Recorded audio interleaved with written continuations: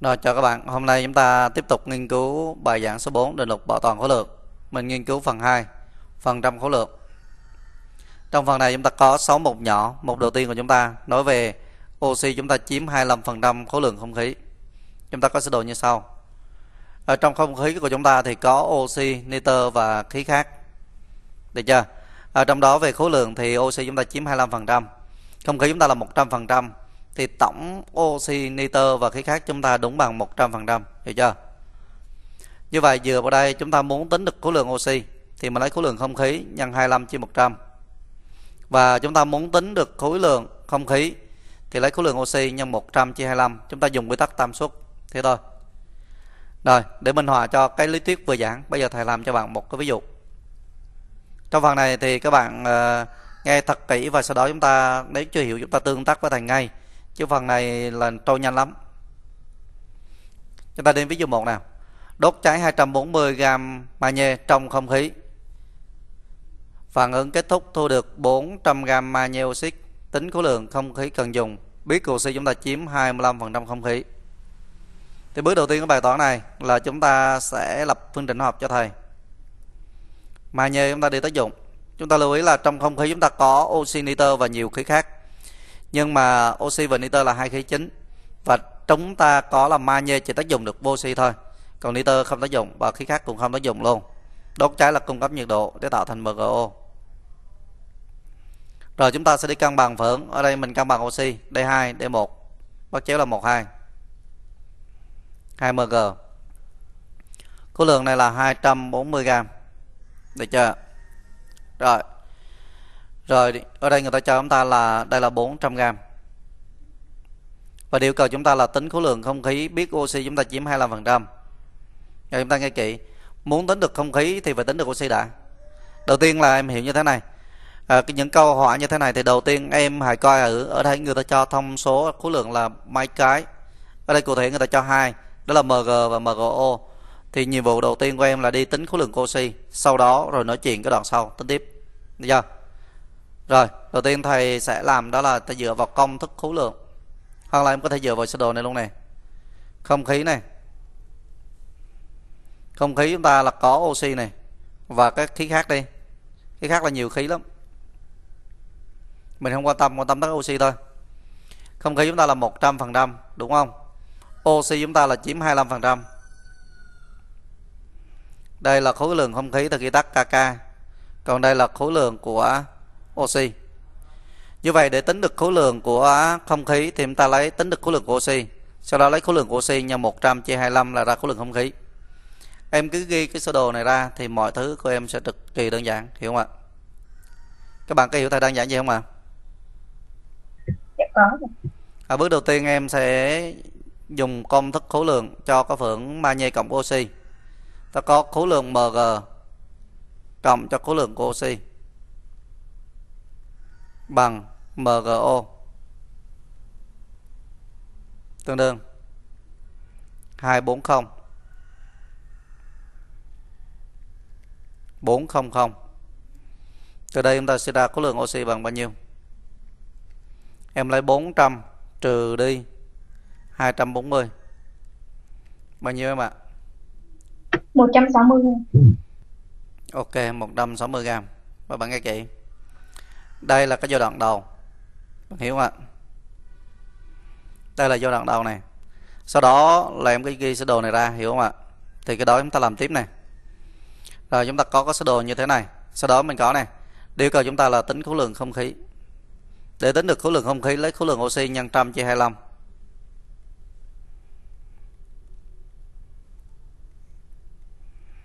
rồi, tính cho thầy đây 160 nhân 100 chia 25 100 chia 25 là bằng 4 4 nhân cho 16 là 6 64 64 nhân 0 nữa, là 640 gram. Hết câu này. Làm thì chúng ta khẳng định Vậy khối lượng không khí cần dùng là 640 gram.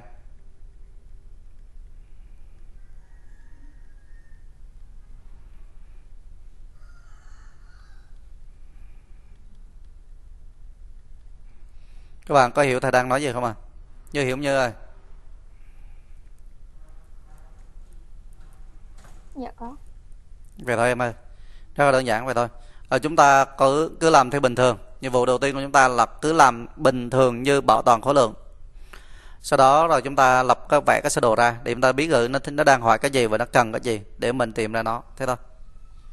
15 ví dụ nha. Phần này mà lấy ví dụ rất là nhiều và nói rất là lâu để hiểu luôn.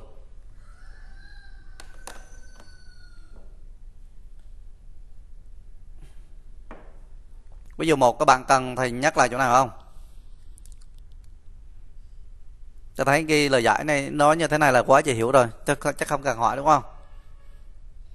Dạ. Không cần hỏi thì mình qua ví dụ 2. Đốt cháy hết 5,4 gam nhôm sau phản ứng thu được chừng đó gam bột nhôm oxit lập phương trình học của phản ứng. Rồi câu A này ta có phương trình, nhôm này đốt cháy đốt cháy mà để thu được nhôm oxit. Như bạn sẽ hiểu nhôm oxit bữa trước mình có khái niệm oxit rồi đúng không? Oxit là kết hợp giữa một nguyên tố với oxy. Như vậy trong trường hợp này, nhôm của chúng ta kết hợp oxy để tạo thành Al2O3 như vậy, đốt cháy là cái thằng mà nguyên tố duy trì sự sống và sự cháy đó là oxy. Như vậy cộng O2 khi mà vẫn nào mà cộng O2 thì hãy cân bằng oxy trước. Bên này 2 bên này 3 bắt chéo là 32 bốn nhôm vế phải bốn nhôm vế trái xong. Thằng này là 5,4 gam khối lượng đây là 10,2 gam rồi lập phương trình coi như đã xong nhé. Chúng ta đến ý B nào. Tính khối lượng không khí cần dùng biết oxy chúng ta chiếm 25% khối lượng không khí. Rồi. Như vậy để tính được khối lượng không khí thì nhiệm vụ đầu tiên của bạn đó là phải tính được khối lượng oxy. Rồi nói gì nói tính khối lượng oxy trước để tính được khối lượng oxy em dùng công thức khối lượng. Rồi công thức khối lượng của chúng ta như sau. Khối lượng của nhôm này. Cộng cho khối lượng của O2 bằng khối lượng Al2O3 tương đương. Đây 5,4 khối lượng oxy đây. 10,2 từ đây chúng ta suy ra được khối lượng oxy bằng. Em lấy 10,2 Em trừ đi 5,4 Từ đây mình tính được là bằng 4,8 gram Đó. Trước khi tính khối lượng không khí thì có gì tận dụng được bỏ tính khối lượng thì tính trước Sau đó mới nghĩ tới nó. Chứ đừng suy nghĩ rắc rối quá Thì nó sẽ phức tạp em hiểu không à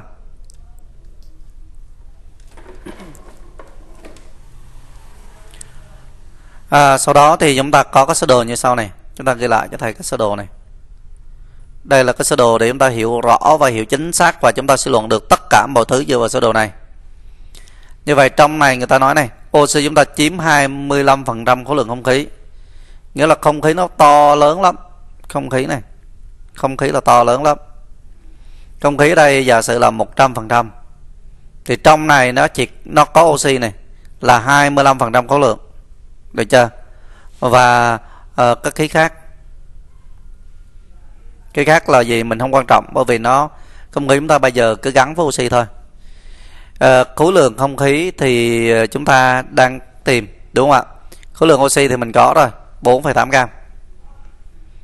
Như vậy để tính được khối lượng không khí thì em sẽ làm như sau. Để tính khối lượng không khí này em lấy khối lượng oxy nhân cho 100 chia 25 còn không thì em có thể lập cái tỷ số đó là 100 chia không khí bằng 25 chia cho m oxy sau đó chúng ta cùng rút ra được m không khí. Thế thôi. Giờ đây thì chúng ta suy ra được này. M không khí này sẽ bằng m oxy nhân 100 và chia cho 25 có hiểu không mấy đứa ơi? Dạ hiểu. Có hiểu Ngọc ơi?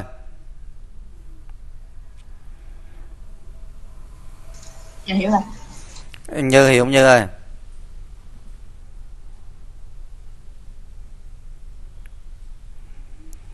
Như có hiểu không nhỉ? Dạ có. 100 chia 25 nhân cho 4,8 19,2 gram. Đây là kết quả cuối cùng Để em khẳng định. Vậy khối lượng không khí cần dùng là 19,2 gram. Vậy Khối lượng không khí cần dùng là 19,2 gram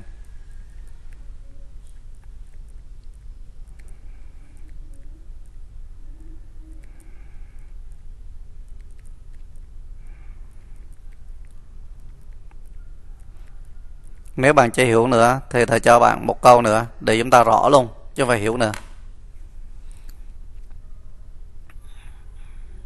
Rồi, chúng ta đến ví dụ 3 đây là một câu hỏi khó nha. Chúng ta đọc đề đã. Ví dụ 3 này. Đốt cháy kim loại magie. Trong không khí, thu được 8 gam hợp chất magie oxit MgO biết rằng khối lượng magie tham gia phản ứng bằng 1,5 khối lượng oxy tham gia phản ứng điều cầu chúng ta là tính khối lượng của magie và oxy đã tham gia phản ứng rồi. Rồi bây giờ bạn nghe kỹ cứ mỗi lần mà người ta cho cấp bao nhiêu lần thì chúng ta xử lý đoạn này trước. Để cho là khối lượng magie gấp 1,5 lần khối lượng oxy. Thì bước đầu tiên này bước đầu tiên của bài toán này chúng ta xử lý cho thành như sau. Ngay bước đầu tiên của bài toán này là chúng ta phải lập được cái phương trình hóa học đã. Rồi mới nói chuyện. Mời ngọc là làm cùng với thầy nào. Dạ thầy. Vâng. Ờ, phương, trình là mg cộng cho ờ, à không. Trong không khí thì cái thằng nào phản ứng em ơi? Nãy giờ mà làm rồi đó. Thằng nào phản ứng? Oxy. Đúng rồi oxy Mg cộng O2 để tạo thành gì? Ờ, mgo rồi cân bằng cho thầy đi. Dạ em sẽ cân bằng oxy trước. Rồi trái phải bắt chéo. Là một hai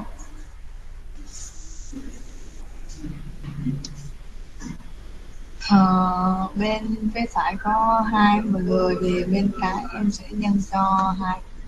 Rồi. Ở đây người ta cho khối lượng của ba ba mấy chất em ơi. 8 gram là của thằng nào đây?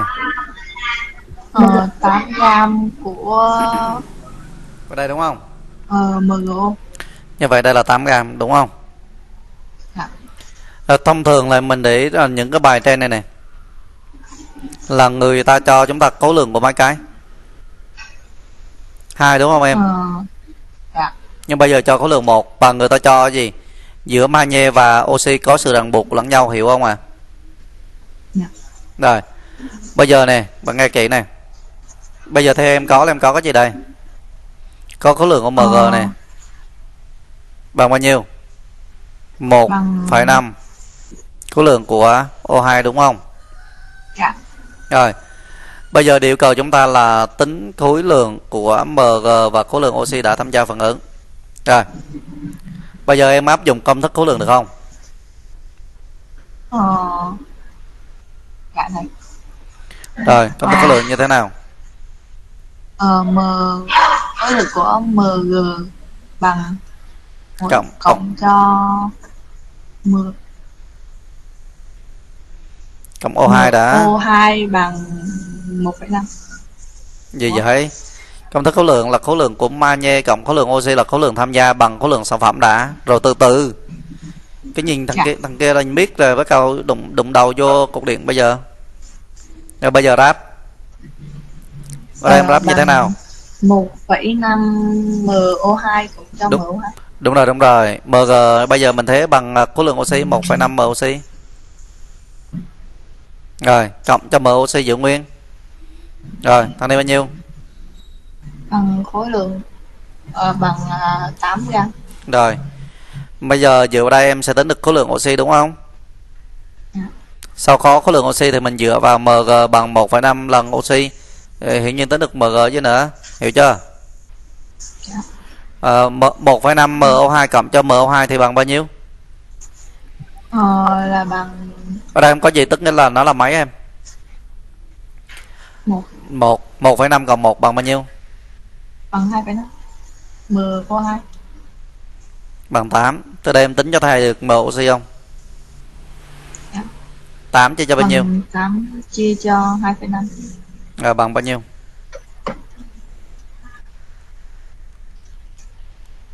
Bằng 3,2 3,2 gram ok rồi khi có được m oxy rồi thì chúng ta tính được m của mg không? Dạ được. 1,5 nhân bao nhiêu? Bằng 1,5 nhân cho 3,2 Rồi tính cho thầy. 4,8 đúng không? dạ bằng 4,8 Ừ. Làm cái luận được chưa? ờ, vậy khối lượng của Mg là 4,8 khối lượng của oxy là 3,2 Rồi ta ghi đơn giản nha.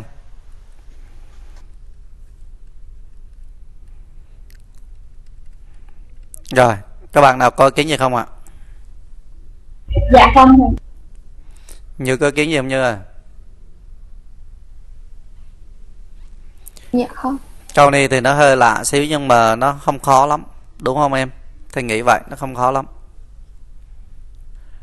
Rồi, đó là tình huống thứ nhất. Bây giờ chúng ta chuyển qua tình huống thứ hai. Đây. Nghĩa là trong những bài toán của chúng ta, ngoài quá trình đốt cháy thì người ta còn có lẫn trong các loại quặng. Được chưa? Cụ thể đây mình nói như rõ này. Ở đây mình khảo sát cái trường hợp đó là quặng boxit chứa A phần trăm Al2O3. Chúng ta có sơ đồ như sau. Quặng boxit trong quặng boxit chúng ta chứa Al2O3 và những chất khác. Cái quặng boxit là thành phần có thành phần chính là Al2O3, còn có chất khác ở đây người ta gọi là tạp chất. Được chưa? Nếu ở đây người ta cho phần trăm đây là bằng B, thì hiển nhiên chúng ta vẫn tính được cái phần trăm, tính được cái phần trăm al23 vì tổng A cộng B là bằng 100 hiểu không ạ rồi ở khối lượng quặng boxit sẽ bằng khối lượng qua l23 cộng khối lượng của tạp chất, hiểu chưa mà cái tạp chất là cái chất mà nó là chất phụ của trong quặng thôi Giờ vào đây, đề có thể yêu cầu chúng ta là gì yêu cầu chúng ta có thể là tính phần trăm khối lượng của Al23 trong quặng tức là tính A phần trăm này. Để tính A phần trăm thì mình lấy khối lượng Al23 nhân 100 chia khối lượng quặng ok cho em ơi. Rồi. Hoặc là điều cầu chúng ta là gì? Có thể tính khối lượng Al23 để tính được khối lượng Al23 lấy khối lượng quặng nhân cho A chia trăm. Hiểu không? Và ngược lại, để tính được khối lượng quặng thì lấy khối lượng Al23 nhân 100 chia cho A. Các bạn có hiểu không nhỉ? Có nghĩa là ở đây thầy dùng quy tắc tam suất để chúng ta, người nếu người ta hỏi phần trăm thì chúng ta sẽ nhân chéo để chia ngang. Đây này, tính A đúng không? Thì lấy cái thằng này nhân cho 100 chia quặng. Được chưa? Rồi, để tính được khối lượng Al23 lấy khối lượng quặng nhân A chia trăm. Và để tính hưởng khối lượng quặng, lấy khối lượng Al23 nhân 100 chia cha hiểu không ạ? Các bạn có hiểu không ạ? Dạ hiểu rồi. À, tất cả chúng ta đều dựa vào sơ đồ. Nếu bạn nào phân tích được sơ đồ thì chúng ta đã đúng khoảng 99% và mọi bài chúng ta đều làm được. Tới đây ta giảng một cách khác nhưng tuy nhiên cách đó nó có nhược điểm đó là nhiều bạn không hiểu. Bây giờ thay đổi rồi đó. Không cần nói dài dòng không cần nói dài làm một câu đi là biết. Rồi ta nghe. Nung quặng boxit chứa 75% Al2O3 về khối lượng thì thu được Al vô C tính khối lượng của quặng bauxit. ở đây người ta cho đáp số đáp số chỉ mang tính chất minh họa thôi tham khảo thôi. Bây giờ làm như thế nào? Thì đây mình có cái sơ đồ này. Rồi bây giờ chúng ta phân tích này. Ở trong quặng bauxit,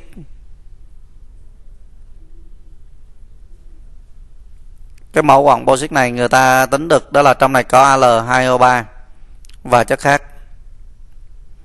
chất khác này thì không ảnh hưởng gì cả, được chưa? Rồi. Ở đây quặng bô xích chúng ta là 100% được chưa nào? Trong này chứa 75% là Al2O3 thì còn lại 25% là chất khác. Gì nữa, đúng không em? Bị tổng nó bằng 100% rồi, yêu cầu chúng ta là tính khối lượng quặng. Tính m quặng bằng bao nhiêu?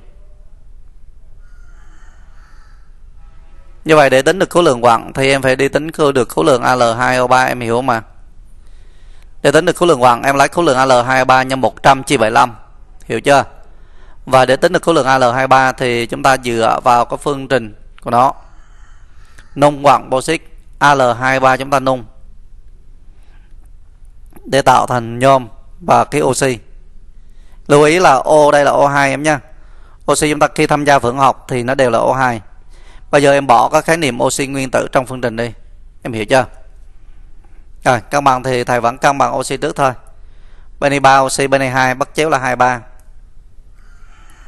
bên này là 4 nhôm đây một đặt 4 nhôm. Em mình ngay. Ở đây người ta cho chúng ta là đây là 20,4 gram. Và đây là 4,8 gram. Được chưa? Điều cầu chúng ta là tính khối lượng quặng boxic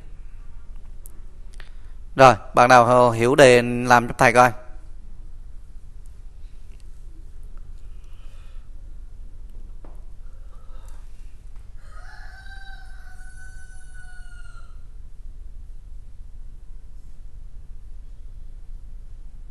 Em. Đây, mày làm thử. Thầy là m quặng là sẽ bằng uh, 20,4 nhân với 100 rồi chia cho 75 sai. Em hiểu sao rồi. Đầu tiên em phải tính được khối lượng AL23 đã. Tính được khối lượng AL23 em mới nhân 100 chia 75 mà ra khối lượng quặng hiểu không? Em kỳ ở đây đang nói gì không? Dạ có. em sửa lại đây đầu tiên em dùng công thức khối lượng cho phần dưới đi. Khối lượng AL23 bây giờ bằng gì?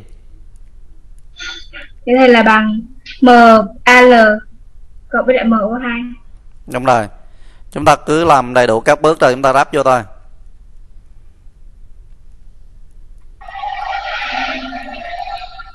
Bao nhiêu? 20,4 cộng cho 4,8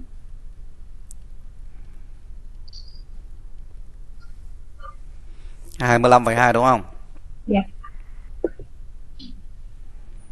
Rồi. Vô đây này để chúng ta đang tính khối lượng quặng đúng không em? Dạ. Thì mình lấy này nhân chéo trên ngang này lấy khối lượng AL23 nhân 100 chia cho 75 hiểu không à? Dạ hiểu rồi khối lượng quặng boxic bây giờ bằng gì? Vậy thầy là bằng MAL2O3 nhân 100 chia Chia cho 75 đó. Có 10 năm nữa em làm em khi nào em có được cái sơ đồ có hiểu phân tích rồi thì nó dễ lắm bao nhiêu? Dạ thầy là bằng 25 25,2 nhân với 100 chia 75 rồi thầy đợi em đó. Là bằng 33,6 gram. như vậy đúng đáp số đúng không? Dạ. rồi ok. Vậy em khẳng định là về khối lượng quặng boxic là 33,6 gram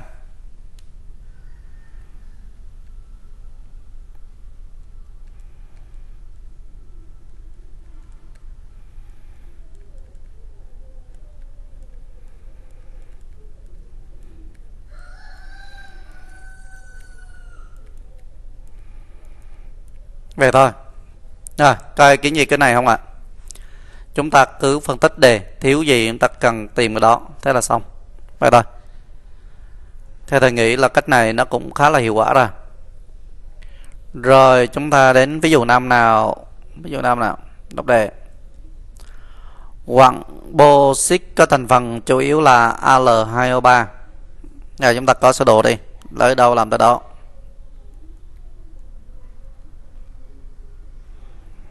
Mình có quặng bosic này.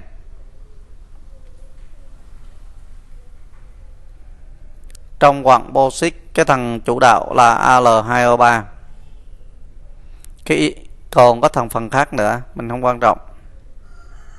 Rồi, người ta nói như sau.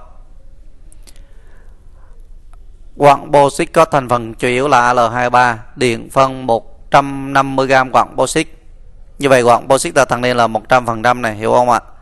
Thằng này chưa biết đặt là A phần trăm đem hiểu không? Thằng này cho chúng ta là 150 gram. Có lượng này chưa biết. Có lượng AL23 chưa biết. Rồi. Người ta nói là điện phân quặng bauxit thì thu được nhôm bộ sẽ ra theo phương trình. À, cái đó chúng ta có phương trình nữa này rồi. Tí nữa bạn trả lời cho thầy các câu hỏi là chúng ta sẽ làm được thôi mà. Người ta cân bằng cho mình luôn này người ta thương mình ghê luôn á đúng rồi đó. Rồi ở đây người ta cho chúng ta là nhiêu 54 gam quặng 54 gam nhôm và 48 gam khí oxy. Ở đây nhiều bạn hiểu nhầm.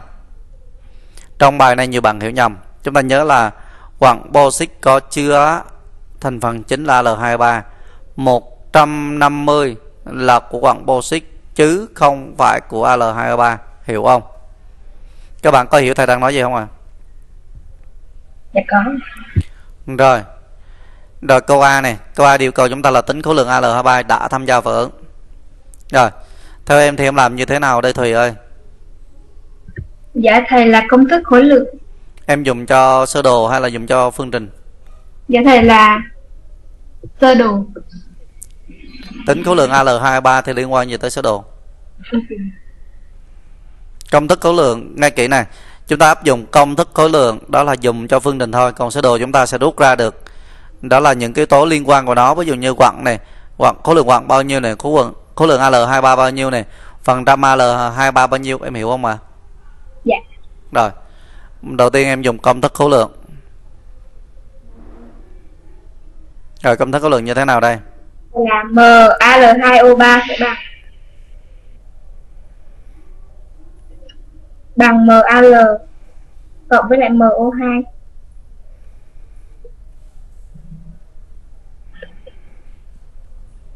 tương đương sẽ là MaLO2 à, MaL2O3 sẽ bằng 54 cộng với 40 48 em ạ. Là 48 rồi bằng bao nhiêu? Dạ thầy là uh, 102 dạ. O- ok ok. Rồi kết luận thêm từ kết luận nha. Về khối lượng Al23 đã tham gia phản ứng là 102 được chưa? Rồi bằng hiểu đề như thế nào? Yêu cầu chúng ta là xác định tỷ lệ phần trăm khối lượng của Al23 có trong quặng tỷ lệ phần trăm tức là yêu cầu chúng ta tính gì? A phần trăm là tính Al2O3 A phần trăm. Rồi để tính được A phần trăm thì chúng ta lấy khối lượng Al23 nhân 100 cho 150 đúng không em? Dạ. rồi vô câu B này em em ghi lời giải cho thầy luôn. Phần trăm khối lượng Al23 có trong quặng là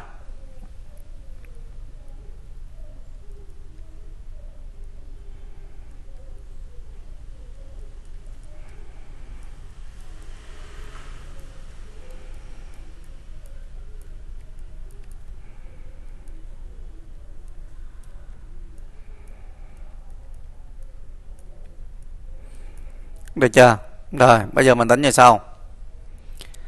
Rồi để tính được phần trăm của thì mình sẽ lấy nhiêu đây? Đấy khối lượng Al23 này là 102 này. Nhân 100 này chia 150 này hiểu không ạ? Dạ. 102 chia cho 150 nhân 100 phần trăm em hiểu không ạ? Giờ tính cho thầy sắp xỉ bằng bao nhiêu? Lấy sau chỗ phải hai con số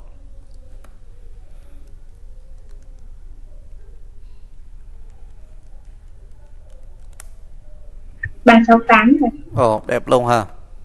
yeah. Đẹp luôn thì gọi làm tròn 68%. Vậy thôi. Có ai có thắc mắc gì câu này không ạ? À?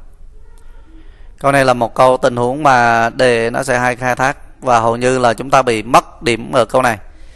Cái sai lầm lớn nhất của bài toán này đó là hiểu nhầm 150g khối lượng quặng boxit tức là khối lượng Al23. Hiểu à, khối lượng quặng trong quặng boxit là L23 là thành phần chính ngoài ra chúng ta còn có những cái thành phần khác chứ không phải là 150g đó là của Al2O3 nếu mà ở đây 150g của Al23 thì cần gì tính khối lượng Al23 nữa? Tại đây có khối lượng đây có khối lượng có khối lượng rồi. Tính qua làm gì hiểu không em? Dạ. Rồi. Rồi như hỏi giùm như ơi. Dạ không. Thì đi tiếp được chưa nhờ? Dạ đi tiếp được chưa như ơi? Dạ rồi. Rồi chúng ta đến cái nội dung thứ ba. Tương tự như vậy. Ừm, Bây giờ người ta cho là trong đá vôi chứa A phần trăm CaCO3 Chúng ta có sơ đồ như sau. Ở Trong một mẫu đá vôi chúng ta chứa 100% Thì cái tầng CaCO3 chúng ta là A phần trăm Và phần khác là phần tạp chất ở đây là B phần trăm nếu ở đây người ta cho phần trăm tạp chất Thì hiển nhiên em tính được phần trăm của CaCO3 hiểu không ạ? Đó đây là khối lượng, đây là phần trăm của đá vôi, đây là phần trăm của CaCO3 đây là khối lượng đá vôi, đây là khối lượng của CaCO3 ở đây nếu mình muốn tính khối lượng của CaCO3 thì lấy khối lượng đá vôi nhân cho A chia trăm, được chưa nào? Và tương tự, để tính được khối lượng đá vôi thì em lấy khối lượng CaCO3 nhân 100 chia cho A, được lại hoặc là để yêu cầu để tính được phần trăm khối lượng của CaCO3 có trong đá vôi, tức là đi tìm đi tính A. Thì em lấy khối lượng CaC3 nhân 100 chia khối lượng đá vôi, ok chưa? Rồi, chúng ta đến với dụ 7 nào? Đây. Người ta nói như sau, một loại đá vôi có chứa 80% CaC3 về khối lượng, nung A kg đá vôi này sau vẫn thu được CaO và CO2 câu A là lập phương trình họ lập phương trình hóa học và viết công thức về khối lượng của phản ứng. Cái hai là tính A. Rồi. Thì bước đầu tiên mình làm như sau. Đầu tiên em có có sơ đồ. Chúng ta cứ phân tích từ trên xuống dưới. Đây. Sơ đồ như sau này. À, đá vôi là thành phần chính. Trong đá vôi có chứa CaCO3 và chất khác.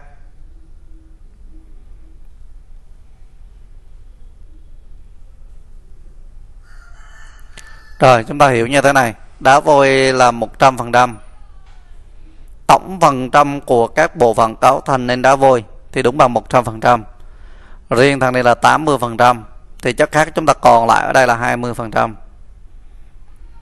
Rồi, Người ta cho chúng ta là khối lượng đá vôi. Thế ghi là khối lượng đá vôi này ở đây người ta cho chúng ta là A kg. Khối lượng CaC3 của chúng ta là bằng bao nhiêu kg thì chưa biết. Nhưng bằng hãy nhớ cái tay này. Khi người ta nung đá vôi thì thành phần chính ở đây để tạo ra CaO và CO2 là CaC3 còn có chất khác chúng ta không sinh ra được thằng này. Hiểu chưa? Rồi, cái đó chúng ta có cái phương trình này CA CO3 chúng ta là nung.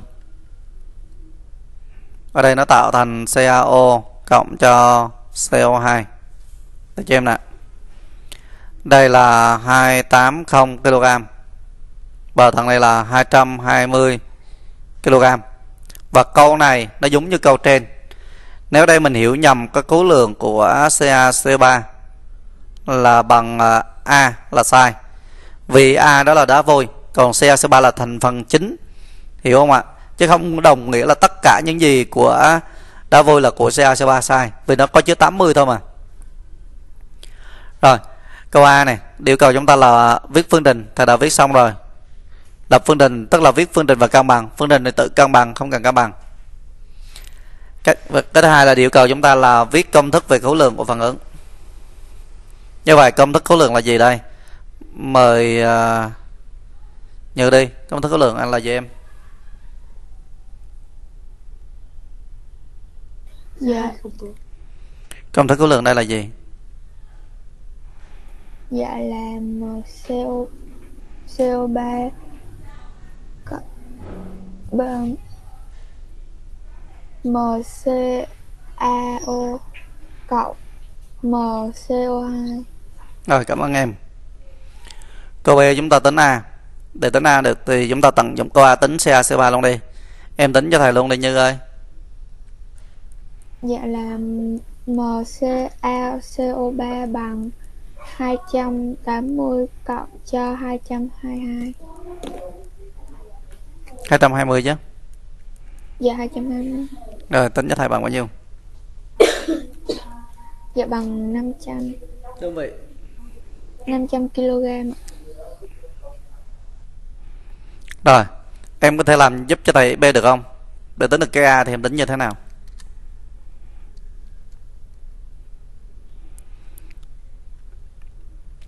Dựa vào cái số đồ thì em có cái A được tính như thế nào? Để tính A thì em nhân chéo chân ngang đi.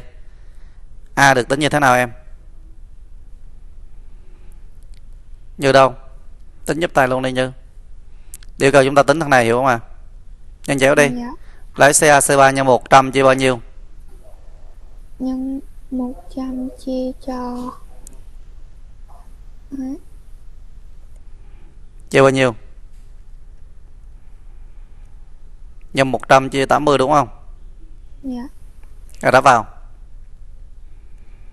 Bà mới tính cho thầy đây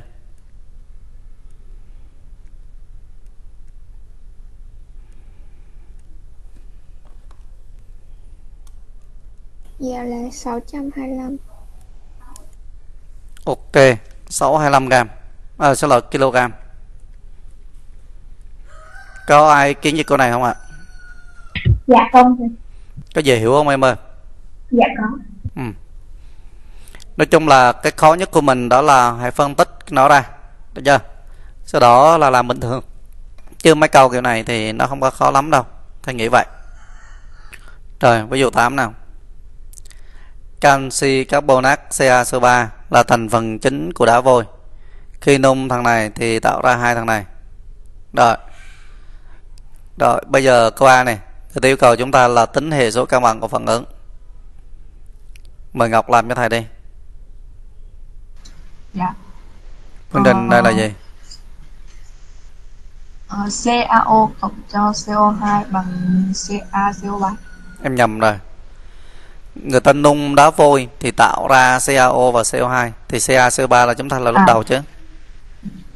dạ CaCO3 bằng tạo ra CaO cộng cho CO2 Rồi, câu A tính tổng hệ số cân bằng tính được không? dạ được rồi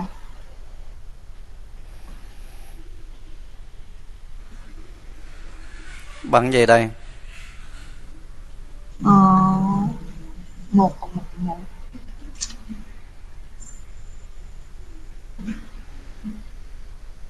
bằng ba Rồi câu B. Tính khối lượng Ờ. thằng này. Tính được không? ờ, được Làm gì? CaCO3 bằng Gì CaCO Ờ. bằng công thức khối lượng đã M MCaCO3 bằng MCaO. CaO cộng cho MCO2 Rồi, MCaCO3 bằng ờ, 210 cộng cho 170 đúng rồi.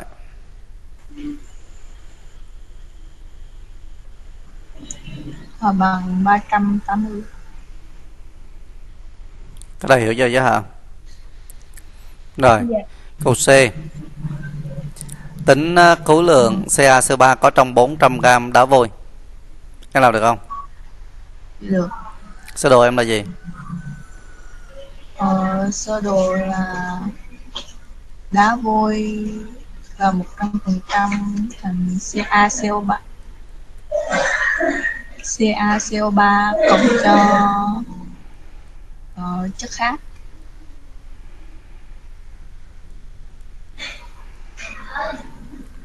Rồi. Đá vôi bao nhiêu? Ờ, dạ 80% Đá mu- đá vôi mà à, đá vôi là 100% đá vôi bao nhiêu kg người ta cho kìa. dạ 400 Đúng rồi, 400 người ta cho trên kìa thấy không? CaCO3 bao nhiêu kg? Đây, ờ, 380 yêu cầu chúng ta tính thằng này tính là tính phần trăm của CaCO3 đúng không? dạ Dựa vào đây em suy ra được phần trăm khối lượng của CaCO3 được không? được Lấy bao Dạ, nhiêu nhân bằng- bao nhiêu chia bao nhiêu? ờ, lấy 380 nhân 100 chia cho 400 Đúng rồi. Nhân chéo trên ngàn 308 nhân cho 100 chia cho 400 rồi tính cho thầy bằng bao nhiêu? Dạ bằng 95% Đẹp luôn hả? dạ không xíu. Ủa, em em đừng có nhìn đây này, có chừng bị thầy lừa đó. Đẹp luôn nha. Thầy bấm máy tính đã. Dạ không, đợi em xíu. em cũng hơi khéo đùa đấy. Nhá. dạ tròn luôn Ok. Đó. Đáp số của chúng ta đây. Ta khớp nha. Rồi, chúng ta đến cái tình huống thứ tư. Đó là cũng giống như hai tình huống trước đó. Đó là quặng manhetic chứa A phần trăm Fe3O4. Ta có sơ đồ như sau. Trong quặng manhetic thì có chứa Fe3O4 và có chất khác. Các chất khác đây gọi là tạp chất. Cái này chiếm 100 phần trăm đây là A phần trăm. Đây là khối lượng quặng, đây là khối lượng Fe3O4. Để tính được khối lượng Fe3O4 lấy khối lượng quặng nhân A chia trăm. Để tính được khối lượng quặng lấy khối lượng FE34 nhân 100 chia A. Hai vị tất này này. Được chưa? Và dựa đây chúng ta có thể tính được A được. để tính được phần trăm khối lượng của F234 trong quặng thì ta lấy khối lượng F234 nhân 100 chia khối lượng quặng thế thôi rồi, rồi chúng ta sẽ làm ví dụ 10 chúng ta nghe người ta cho 29 kg quặng manhetic chứa 80 phần trăm F234 tác dụng với CO tạo ra CO2 và sắt yêu cầu chúng ta là tính khối lượng CO2 thu được thì đầu tiên em có cái sơ đồ này. Chúng ta có quặng hemantic, manhetic manhetic. Trong quặng hai mantic này, manhetic này có chứa Fe3O4 và chất khác.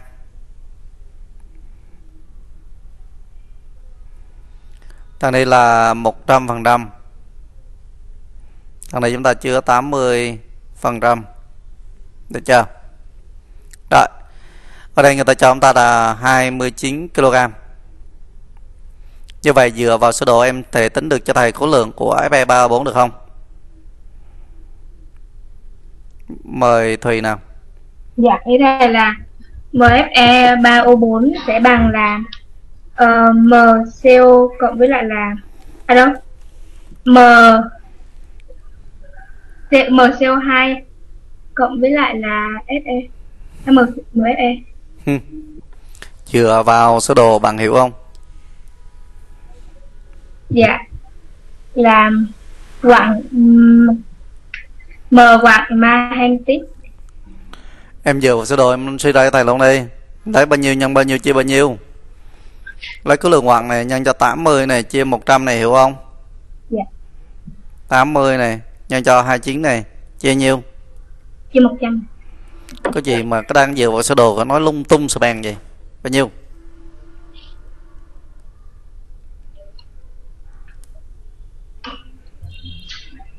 Hai ba phẩy hai đơn vị. Ờ, kg rồi. Khi có thằng này thì khi đó chúng ta mới ghi được cái phương trình này. Rồi cái đó bình thường đó chứ nữa rồi ở ờ, trong quặng hemantic thì bạn hiểu là cái thành phần chính là thành phần tham gia phản ứng còn cái thành phần khác khác khác là những cái phần mà tạp chất thì chưa tham gia phản ứng không tham gia phản ứng nha. Như vậy trong trường hợp này mình có nè Fe3O4 này nó đi tác dụng bởi gì? Khí CO được chưa? Cái đó nó tạo ra CO2 và là dấu cộng này Fe này hiểu không em ơi? Rồi em cân bằng cho thầy nguyên tố sắt này. Bên đây ba sắt đây một sắt được ba này, rồi đây 4 đây 4 đủ này. Còn đây bạn tự cân bằng nha. Rồi khối lượng Fe34 thì dựa vào sơ đồ chúng ta đã tính được rồi. 23,2 gram. Được chưa nào? Khối lượng CO là xin lỗi 23,2 kg chúng ta đọc cẩn thận cho thầy nha. Người ta cho cái gì tính cái đó. Chứ người ta cho kg tính gam là chết. 11,2 kg CO và 16,8 kg sắt. Yêu cầu chúng ta là tính khối lượng CO2 tính được không? Mời uh, Thanh đi. Dạ. Em tính khối lượng CO2 như thế nào? Cái này là công thức khối lượng. Ừ.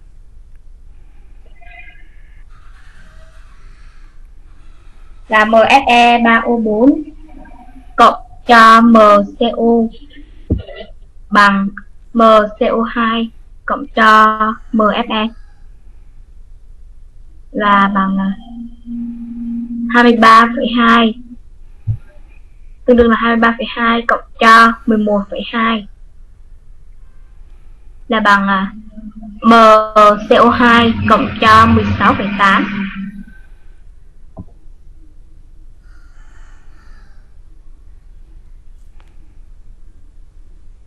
hai ba phẩy hai cộng mười một phẩy hai bằng bao nhiêu?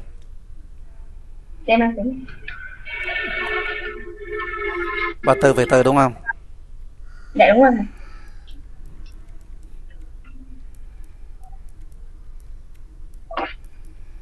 Rồi giờ đây em tính được MCO2 chưa? Dạ có MCO2 sẽ bằng à, 34,4 Trừ cho 16,8 Là bằng à, 17,6 kg bao nhiêu? 17,6 đơn vị? Kg. ừ. vậy thôi. Cái khó không em ơi? Dạ không. như vậy chỉ cần có sơ đồ với là có phương trình là mọi thứ nó đơn giản hết đúng không? Có thể khẳng định một câu đó là những cái bài tập này dù cho kiểu này chăng nữa thì chúng ta chỉ cần dựa vào sơ đồ và dựa vào phương trình chúng ta đều suy luận được hết. Được chưa? Được không ạ? Dạ.